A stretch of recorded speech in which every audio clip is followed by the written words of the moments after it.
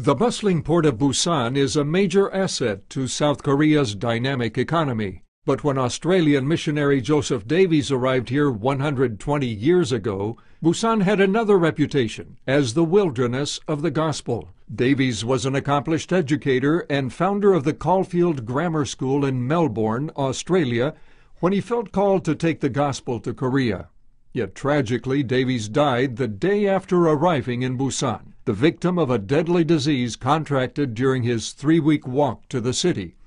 Davies' sacrifice was not in vain. It inspired the arrival of another 126 Australian missionaries. They said, no, this means we must give ourselves even more completely to preach the gospel to the Koreans. One of the new missionaries, Pastor Noble Mackenzie, built a medical facility to care for lepers. Mackenzie eventually received a government citation for his humanitarian work.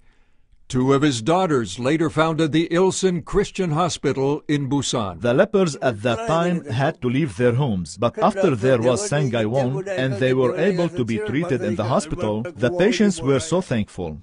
Another Australian couple, Pastor McRae and his wife, founded kindergartens and elementary schools in three cities of the region.